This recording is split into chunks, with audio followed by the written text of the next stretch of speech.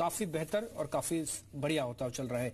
आज भी हम आपके सामने कुछ एक रिजल्ट्स बेसिस शेयर रखने वाले हैं और ये बताने के लिए दो सहयोगी मेरे साथ हैं। सुमित हमको बताएँगे कुछ एक नंबर्स साथ ही साथ पूजा भी हमको बताएँगे।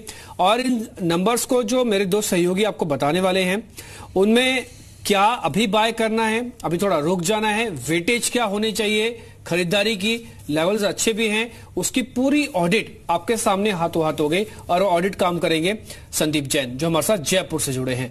उनसे हम जानेंगे कि उन शेयर्स में एक्चुअली करना क्या है। नंबर्स अच्छे आ रहे हैं, बुरे आ रहे हैं ट्रेड लेना भी है कि नहीं लेना, ये भी तो इंपॉर्टेंट है। ट्रेडिंग करनी है कि इन्वेस्टमेंट करनी है, ये भी तो जानना ज़रूरी है। इसलिए पूरी तैयारी आज इस कार्यक्रम के ज़रिए आप कर लीजिएगा। ये हफ़्ते भर की तैयारी वाला शो है। जिसकी हम शुरुआत करने वाले हैं। तो पूजा के पास आज कुछ फार्मा के शेयर्स हैं, कुछ केमिकल्स के शेयर हैं, जो कि मार्केट के थीम के हिसाब से थोड़ा मैच भी करते हैं। चलते भी हैं, थोड़ा अच्छा मूव भी देते हैं। तो पूजा से शुरू करते हैं। कैडिला पूजा कैसे नंबर आने कैडिला के? कैडिला से तो इस बात तक के सबसे शानदार नंबर्स की हम्म। उम्मीद की जा रही है। काफ़ी अच्छे नंबर्स एक्सपेक्टेड हैं। ये क्वार्टर जो होगा कंपनी ने जो कुछ नए लॉन्चेस किए हैं बड़े लॉन्च किए हैं उससे कंपनी को इस बार काफ़ी ज़्यादा फ़ायदा होगा और कुछ ड्रग्स जो हैं जैसे कि अगर लियाल्डा है टाइमी फ्लू है ये कुछ ऐसे ड्रग्स हैं यूएस मार्केट में कंपनी ने लॉन्च किए इनके ज़्यादा कुछ कॉम्पिटिशन भी नहीं है। इस वजह से भी कंपनी को काफ़ी ज़्यादा फ़ायदा इस तिमाही देखने को मिलेगा। और अगर फॉर्मुलेशन कारोबार पर इनके नज़र डालें तो एक्सपोर्ट फॉर्मुलेशन कारोबार से 60 परसेंट योगदान इस बार कंपनी को मिलेगा। जो इनका घरेलू का फॉर्मुलेशन कारोबार होगा 50 परसेंट ग्रोथ देखने की उम्मीद है। तो काफ़ी मोटा मोटी हर फ्रंट पर नंबर्स काफ़ी अच्छे नज़र आ रहे हैं और ये कुछ ऐसे फैक्टर्स हैं जो कि कंपनी ग्रोथ को सपोर्ट भी करेंगे। तो शानदार ग्रोथ इस बार एक्सपेक्टेड है। रेवेन्यू में हम उम्मीद कर रहे हैं कि चालीस से ज़्यादा की ग्रोथ देखने को मिल सकती है। मुनाफे में एक शानदार जंप देखने को मिलेगा, जो लास्ट ईयर था कंपनी के लिए। वो छोटा बेस भी था तो उससे अगर कंपेयर करेंगे तो एक शानदार ग्रोथ सौ परसेंट से ज़्यादा की ग्रोथ इस बार रहेगी, दुगना मुनाफा हो जाएगा और मार्जिन के फ्रंट पर भी काफ़ी अच्छे नंबर्स एक्सपेक्टेड है। तो हर फ्रंट पर नंबर एक्सपेक्टेड है और काफ़ी सारे जो फैक्टर्स भी हैं, वो भी कंपनी के नतीजों को इस बार काफ़ी ज़्यादा सपोर्ट करेंगे। ठीक है, हम उम्मीद तो नहीं करते आप कैडला की दवाई खाएँ या फिर खाते होंगे, लेकिन हाँ कैडला का शेयर ज़रूर रखिएगा। अच्छा पूजा, मेरे को सिर्फ़ आपसे ये जाननी है, जब मुनाफा दोगुना होकर आ रहा है मार्जिन भी ऑलमोस्ट दोगुने हैं, कोई एडजस्टमेंट तो नहीं है? नहीं एडजस्टमेंट तो ऐसा कुछ हमें यहाँ पर इस वक्त जो रिपोर्ट्स हमने देखी है एडजस्टमेंट तो कुछ दिखाई नहीं दे रहा है। बस ये है कि जो नए लॉन्च की बात की जा रही है इस बार उसी से फ़ायदा मिलने की बा, बात कर रहे हैं कैडिला के लिए। ठीक है कैडिला एक बड़ा मार्केट है यूएस के अंदर और यूएस के पास जो इनका दवा का जो लाइसेंस है वो भी काफ़ी ज़्यादा इनके पास है। इकलौती भारत की कंपनी ऐसी जिसके पास अभी भी इतने ज़्यादा लाइसेंस है सिर्फ़ लॉन्च करना बाकी रह गया। अब तो चाइना का बाज़ार भी इनके लिए नया मार्केट खुलने वाला है जहाँ पे भारत और चाइना के बीच में बायोलेट्रल करार भी हुए हैं।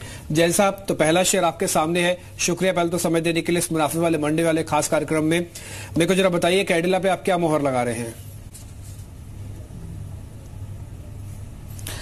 देखिए मेरे हिसाब से तो होल्ड करना चाहिए और बाय ऑन डिक्लाइंस की रणनीति भी अपना सकते हैं। वैल्यूएशन के लिहाज से भी ठीक ठाक सस्ता ही लगता है और फार्मा सेक्टर वैसे ठीक लगता है और जिस तरीके से करेंसी जो रुपया टूटा आज तो उसका भी ये बेनिफिशियरी रहेगी ये पर्टिकुलर कंपनी और यूएस मार्केट जैसा कि आप लोग कह रहे हैं कि यूएस मार्केट्स भी अच्छे हैं मार्जिन में भी आउट परफॉर्मेंस दिख रहा है, बेहतर ही रही है चीज़ें। और वैसे देखा जाए तो बहुत ज़्यादा परफॉर्म ये स्टॉक किया नहीं है तो डाउन साइड भी बहुत ज़्यादा लगती नहीं है।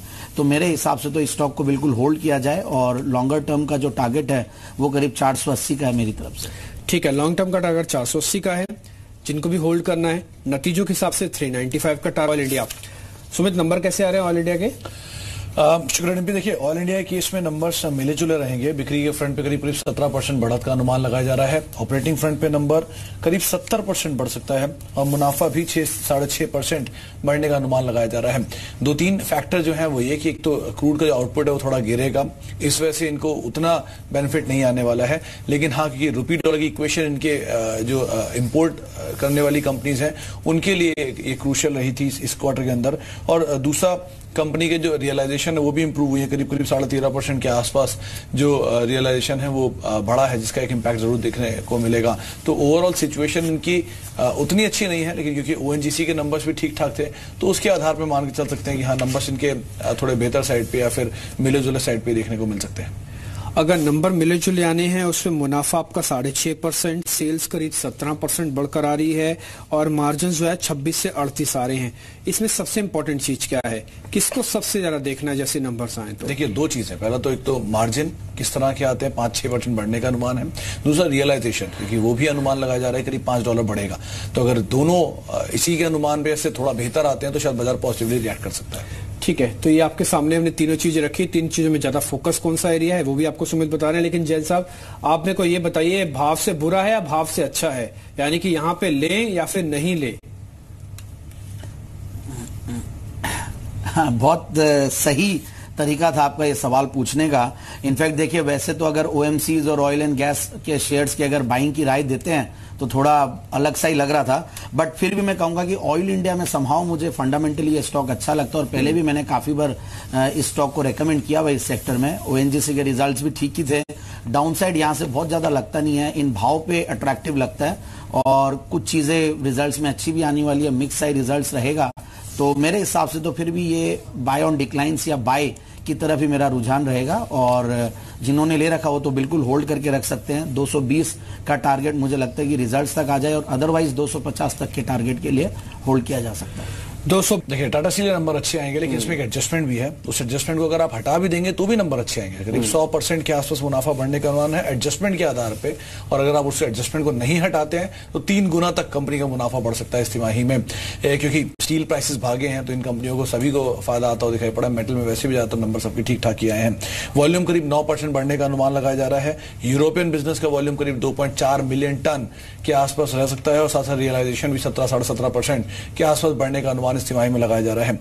रेवेन्यू 20 परसेंट इबीटा करीब करीब चालीस परसेंट और मुनाफा नब्बे परसेंट। यानी कि क्लियर कट जो बेस्ट टाइप का रिज़ल्ट होता है, अच्छे टाइप का रिज़ल्ट होता है, वैसा रिज़ल्ट है। जिसमें रेवेन्यू बढ़ रहा है ऑपरेटिंग परफॉर्मेंस और बेटर हो रही है और मुनाफा और बेटर हो रहा है। तो इन्हें हर तरह से सपोर्ट मिल रहा है लो बेस का फ़ायदा है और एडजस्टमेंट भी है। तो इन चीज़ों के आधार में मानते हुए, मान सकते हैं अच्छे नंबर आएँगे इस कंपनी के ठीक है इंडेक्स की कंपनी भी है और दूसरा एडजस्टेड और नॉन एडजस्टेड दोनों तरह का प्रॉफिट हमने आपके सामने रखा। अगर बिना एडजस्टमेंट के आप इसमें कोई देखेंगे तो तीन गुना आपको बढ़कर देखेगा हो सकता है पहला फ्लैश ऐसे ही आए। जब एडजस्ट होकर आएगा, तब आपको दिखेगा कि यहाँ पे सौ परसेंट मुनाफा बढ़ा है। ये भी कम नहीं है इस बार के नंबर्स के लिए। और ये शायद हो सकता है टाटा स्टील को चला दे। मेटल्स क्योंकि ग्लोबल मार्केट्स की मेल्टडाउन की वजह से थोड़ा बहुत नीचे भी है तो वैल्यूएशन भी शायद ठीक लग रही होगी। जैन साहब, ये वैल्यूएशन के हिसाब से मेरे को रिज़ल्ट का एक शेयर ढूंढना है, और मैं नतीजे भी देख रहा हूँ, परख रहा हूँ, आपकी बात भी सुन रहा हूँ। टाटा स्टील को नतीजों के हिसाब से ले लूँ क्या अभी? देखिए, लिया जा सकता देखिए, मुझे ऐसा लगता हालाँकि देखिए मेटल स्टॉक्स में थोड़ा सा डर लगता है जब ट्रेड वॉर की कोई भी बात आती है बट ऑलरेडी करेक्टेड हो चुके हैं ये, और जिस तरीके के रिजल्ट्स के अनुमान लगा रहे हैं स्ट्रीट्स और जो आपको भी मैं सुन रहा था तो मुझे लगता है कि ठीक लगता है ये, और कहीं ना कहीं जो लेवल्स है, यहाँ से बहुत ज़्यादा डाउनसाइड रिस्क नहीं दिखती है। अगर डाउनसाइड अगर लॉन्गर टर्म की अगर बात करें तो मेरे हिसाब से 10-12 परसेंट की डाउनसाइड रिस्क है और अपसाइड मुझे ठीक ठाक से लगती है यहाँ से तो रिस्क रिवॉर्ड रेशियो के लिहाज से तो बिल्कुल लेना बनता है। और जो रिजल्ट्स की क्वालिटी और जो रिजल्ट्स आने वाले हैं, उसके हिसाब से तो बाइंग बनती है। तो अगर शॉर्ट टर्म का टारगेट बोले तो मुझे लगता है कि 610 तक के टारगेट्स के लिए ले सकते हैं। बाकी लॉन्ग टर्म के लिए 690 तक के लिए बाइंग की जा सकती है। ठीक है 690 बिकॉज़ देखिए टीम इस बार दो चीज़ें काफ़ी इंपॉर्टेंट होगी नतीजों में देखने के लिए। एक तो मार्जिन हम्म। किस तरह के हैं और कंपनी का आगे का आउटलुक क्या निकल कर आता है उस पर भी नज़र रहेगी। क्योंकि वैसे तो टाटा केमिकल केमिकल कारोबार की कंपनी हुआ करती थी लेकिन अब ये फर्टिलाइज़र और एग्री कारोबार से एग्जिट कर ली क्योंकि वो कुछ बिज़नेस का कुछ अच्छा परफॉर्म नहीं कर रहे थे। और कंपनी अब धीरे धीरे जो कंज्यूमर प्रोडक्ट्स हैं उनके, जैसे कि सॉल्ट है पल्सेज है वाटर प्यूरिफायर है, इस तरह के प्रोडक्ट्स में वो ज़्यादा फोकस करने की बात कर रही है। इसी वजह से जून में ही कंपनी की ने अपने बंगाल में एक यूनिट बेच दी है और नीदरलैंड का भी एक कारोबार कंपनी ने बेचा है। तो इस बार हम देखेंगे कि कुछ वन ऑफ़ गेन होता हुआ नज़र आएगा, लेकिन जो कारोबार बेचे हैं कंपनी ने, उसका असर फिर इस बार के मुनाफे पर भी देखने को, आय में भी रेवेन्यू में भी देखने को मिलेगा। रेवेन्यू में ज़्यादा कुछ ग्रोथ रहेगी नहीं, लेकिन ये जो कुछ कारोबार बेचे हैं कंपनी ने, उसका जो असर है वो कंपनी के मार्जिन और मुनाफे पर देखने को मिलेगा।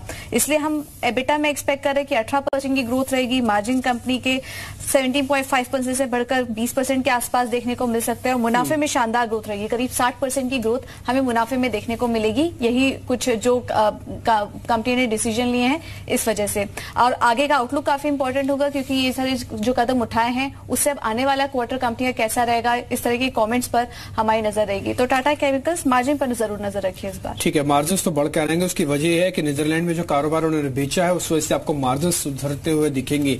अबीटा कामकाजी मुनाफा 18 परसेंट बढ़ेगा।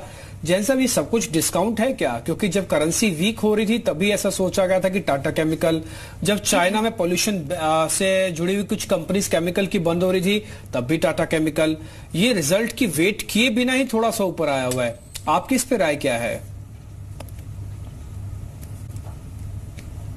देखिए, मेरी राय तो अभी भी होल्ड की है। मुझे संभाव कन्विक्शन आता है स्टॉक में। अगर लॉन्गर रन के लिए देखें तो अच्छा लगता ही है। और जो रिस्ट्रक्चरिंग अभी हुई है, और ये ग्रुप काफ़ी एक्टिव हो रखी है रिस्ट्रक्चरिंग में, और मुझे लगता है कि टाटा केमिकल संभाव होल्ड किया जा सकता है। और प्योर बाय मैं नहीं कहूँगा। बाय के लिए तो थोड़ा सा डिक्लाइंस की ज़रूरत है, क्योंकि देखिए, ये सारी चीज़ें जैसा आप कह रहे हैं कि काफ़ी चीज़ें तो डिस्काउंटेड हो चुकी है।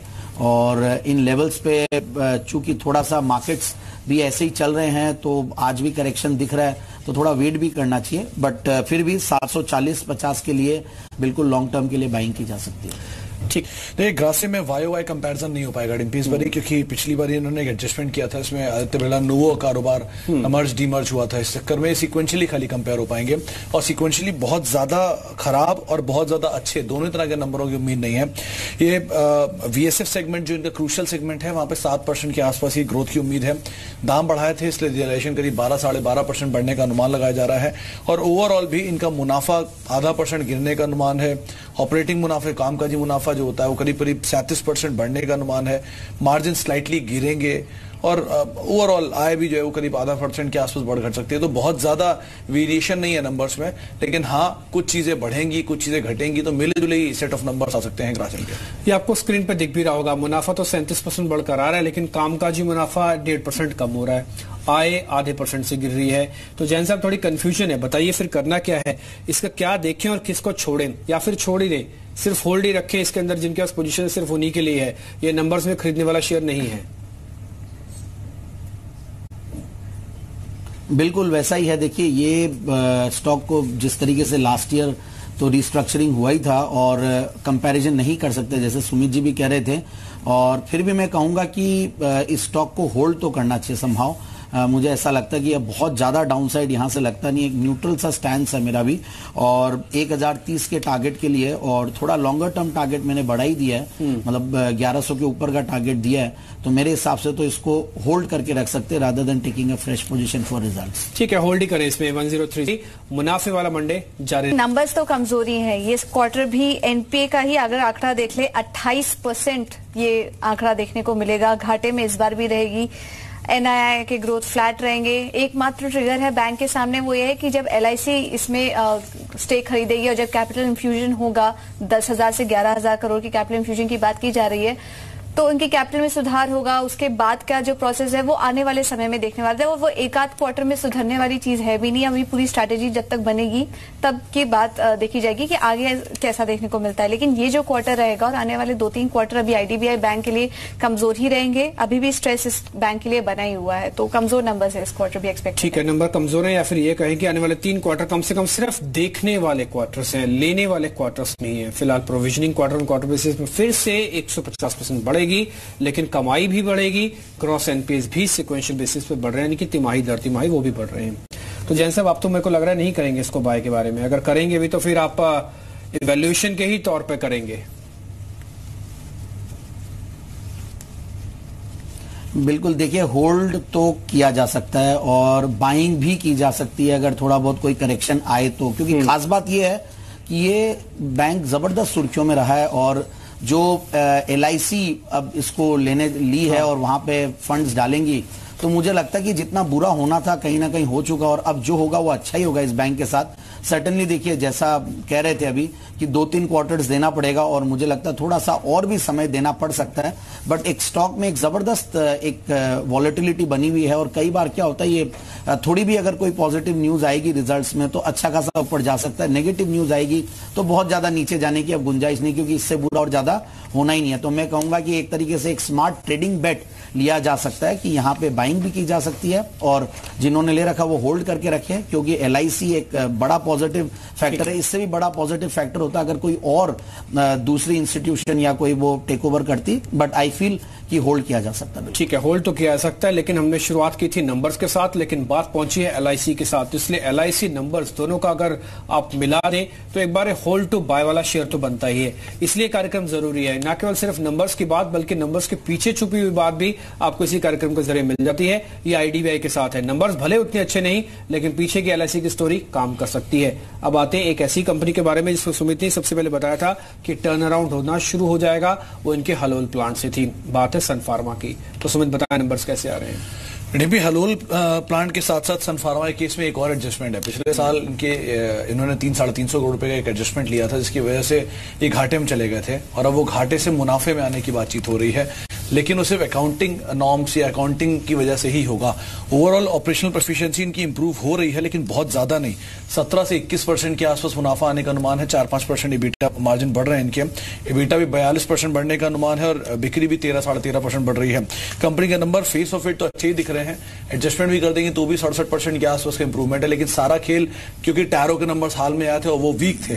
तो ये अनुमान लगाना मुश्किल हो रहा है कि क्या टैरो के नंबर्स की वजह से ज़्यादा खराब नंबर आएँगे सन फार्मा के लेकिन ओवरऑल इंडिविजुअली अगर सन फार्मा की बात करें नंबर थोड़े से इंप्रूव हुए हैं। हलोल का इंपैक्ट इनके नंबर्स के अंदर देखने को मिलेगा। ठीक है तो इस बार का एडजस्टेड मुनाफा भी 67 परसेंट बढ़कर आ रहा है। तो जैन साहब जरा जल्दी से बताइए ये इन्वेस्टर और ट्रेडर्स को दोनों को अलग अलग कैसे करना है काम या दोनों को ही बाय करना है? नहीं मेरे हिसाब से तो देखिए बाइंग की जा सकती है। थोड़ा डाउनसाइड भी आ सकता है ऐसा नहीं है। बट ओवरऑल फार्मा सेक्टर पे बुलिश हैं, जिस तरीके से करेंसी डिवैल्यू हो रही है, उसका भी ये बेनिफिशियरी रहेगा। पॉजिटिव न्यूज़ थी हलोल वाली, हालाँकि टैरो के नंबर्स अच्छे नहीं आए बट फिर भी मैं कहूँगा कि मार्केट लीडर है और चीज़ें बेहतर होगी। यूएस की रिकवरी और सब देखने के बाद मुझे लगता है कि स्टॉक को लें और थोड़ा सा लंबा नज़रिया रखें। साढ़े छह सौ तक का टारगेट आने वाले कुछ क्वार्टर्स के बाद दिखेंगे। बाकी एक बार शॉर्ट टर्म टारगेट पाँच सौ पिचासी तक भी ले सकते हैं। ठीक है, अब दो डीएचएफएल देवान हाउसिंग से अच्छे नंबर्स ही एक्सपेक्टेड हैं. इंडस जो नया अकाउंटिंग नियम आए हैं उसकी वजह से ज़रूर थोड़ा बेस हमारे अनुमान से चेंज होगा. लेकिन एनपीए के नंबर्स और ग्रोथ स्टोरी इंटैक्ट है. एयूएम बत्तीस परसेंट ग्रोथ और एनपीए जो है वो आखिर एक परसेंट के नीचे ही देखने का अनुमान है. ठीक है एक परसेंट एनपीएस कम होंगे और मुनाफा बढ़ेगा और छब्बीस परसेंट बढ़कर आएगा. ब्याज से जो आय होती है वो भी 25 परसेंट बढ़ेगी. सुमित जिलेट के नंबर कैसे आ रहे हैं? जिलेट के नंबर अच्छे आएँगे. डिम्पी की पूरे एफएमसीजी स्पेस में अच्छे नंबर्स पोस्ट किए हैं. इस कंपनी के नंबर्स भी अच्छे हैं। पंद्रह, साढ़े पंद्रह परसेंट के आसपास आया बढ़ने का अनुमान है। मुनाफा सौ परसेंट करीब बढ़ सकता है। एबिटा भी नब्बे, इक्यानवे परसेंट बढ़ने का अनुमान है। ओरल केयर सेगमेंट जो है इनका वो और दूसरा लो बेस, ये दोनों इनके लिए कारगर रहेंगे इस बार और एक अच्छे सेट ऑफ़ नंबर दे सकती है चाहते चाहते दोनों नंबर ठीक बता रहे हैं। जैन साहब, आप भी मोहर लगाएँगे? दोनों को बाय बोलेंगे? जिलेट और दीवान? बिल्कुल बिल्कुल। मुझे दोनों ही अच्छे लगते हैं। जिलेट मैंने वैसे भी रेकमेंड किया हुआ कई बार आपके स्पेशल शोज़ में और मुझे एफएमसीजी पे जिस तरीके से बाकी लोगों के अच्छे नंबर्स आए हैं और ये तो पर्टिकुलरली बहुत अच्छी कंपनी है और बेस भी लो है अच्छा चलेगा मेल वेलनेस पे वैसे ही बहुत ज़बरदस्त मैं बुलिश हूँ तो मुझे लगता है कि जिलेट पे बिल्कुल ध्यान दिया जा सकता है बाइंग भी की जा सकती है इन लेवल्स पे, बहुत ही कॉन्सोलिडेटेड और डाउन नहीं है, और दीवान हाउसिंग भी price to book value multiples के लिहाज से देखें तो काफ़ी सस्ता है as compared to its peers और जिस तरीके से ग्रोथ कंसिस्टेंटली देते आ रही है, आगे भी देगी तो मेरे हिसाब से तो बिल्कुल इसको भी बाई किया जा सकता है। ज़रूर से थोड़ा अगर नीचे आए तो घबराए नहीं होल्ड करके रखें तो लंबे समय में तो पैसा बनेगा ही बनेगा। शुक्रिया जैन साहब, आज समय देने के लिए, बताने के लिए कि अलग अलग स्टॉक्स में क्या है? ये मुनाफे के मंडी में बिल्कुल फिट बैठ रहा है। जैन साहब, शुक्रिया आपका समय देने के लिए। सुमित, शुक्रिया।